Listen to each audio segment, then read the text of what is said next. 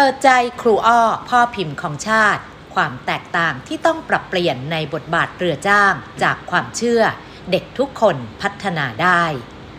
โดยวันที่ 16 มกราคมของทุกปีที่ถูกกำหนดให้เป็นวันครูแห่งชาติ Manager Online อยากจะหยิบยกเรื่องราวของเรือจ้าง ที่ต้องนำพาลูกศิษย์ซึ่งเป็นเด็กพิเศษ มาถ่ายทอดความรู้สึกในอีกหนึ่งแง่มุมของความเป็นครู รูอ้อ หรือนายพงธวัฒน์กลิ่นสุคน ครูผู้สอนประจำศูนย์การศึกษาพิเศษ เขตการศึกษา 6 จังหวัดลบบุรี หน่วยบริการชัยบาดาล ที่ยืนหยัดมาตลอดว่า เด็กทุกคนพัฒนาได้ จนเป็นแรงขับเคลื่อนให้เดินหน้าในหน้าที่การทำงานอย่างแข็งขัน จนทำให้ได้รับรางวัลมากมาย โดยเฉพาะ รางวัลทรงคุณค่าสพทระดับชาติ เหรียญเงิน ครูผู้สอนยอดเยี่ยม โรงเรียนการศึกษาพิเศษ บกพร่องทางการได้ยินด้านการบริหารจัดการ จากสำนักงงานคณะกรรมการการศึกษาขั้นพื้นฐาน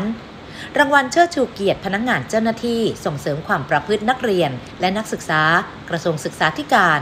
รางวัลเสมาพิทักษ์ประจำปีพุทธศักราช 2566นอกจากนั้นยังได้รับรางวัลระบบดูแลช่วยเหลือนักเรียนประจำปี 2565 ประเภทศูนย์การศึกษาพิเศษระดับยอดเยี่ยม จากสำนักงานคณะกรรมการการศึกษาขั้นพื้นฐาน ครูอ้อนบอกว่าสิ่งที่ตนเองยึดมั่นถือมั่นมาตลอดตั้งแต่แรก คือความตั้งใจที่จะเป็นครูที่ดี ซึ่งในความเป็นจริงแล้ว ตนเองไม่ได้จบจากคณะศึกษาศาสตร์ แต่จบการศึกษาจากคณะเทคโนโลยีสารสนเทศ สาขาคอมพิวเตอร์ศึกษา มหาวิทยาลัยราชภัฏเทพสตรีโดยแรงบันดาลใจเกิดจากการที่ได้เป็นครูฝึกสอนเด็กปกติ หลังจบการศึกษาเมื่อปี 2558 กระทั่งได้เริ่มเห็นเด็กพิเศษในโรงเรียน ซึ่งมาเรียนรวมกับเด็กปกติ โดยเด็กกลุ่มนี้มักถูกกลั่นแกล้ง ถูกรังแก จนทำให้รู้สึกสงสาร เพราะเด็กคนอื่นๆ มักมองเด็กกลุ่มนี้ว่าเป็นจุดด้อยของห้อง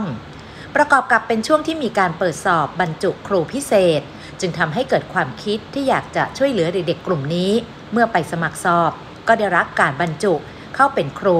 ประจำศูนย์การศึกษาเด็กพิเศษ 6 จังหวัดลบบุรี นี่จึงเป็นจุดเริ่มต้นของการเป็นครู ว่าเด็กทุกคนพัฒนาได้รอบด้าน เพราะเด็กทุกคนนั้นมีความต้องการจะเป็นพิเศษที่ต่างกัน และต้องการความดูแลนะครับมากกว่าเด็กปกติเป็นหลายเท่านะครับ เพราะว่าเด็กกลุ่มนี้นะครับต้องการพัฒนานะครับในการพัฒนาของเรานั้นไม่ว่าจะเป็นพัฒนาในด้านทักษะต่าง ทักษะการดำรงชีวิต ทักษะ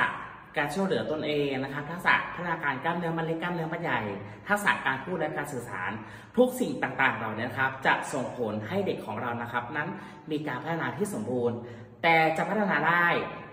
อย่างต่อเนื่อง สิ่งที่ขาดไม่ได้เลยคือ 1. การให้ความร่วมมือจากทุกภาคส่วน ไม่ว่าจะเป็นภาครัฐ เอกชนนะครับ หรือประชาชนทั่วไปหรือชุมชน ทุกสิ่งทุกอย่างเหล่านี้นะครับ หรือว่าทุกคนที่อยู่รอบตัวเรานั้น เขาสามารถมา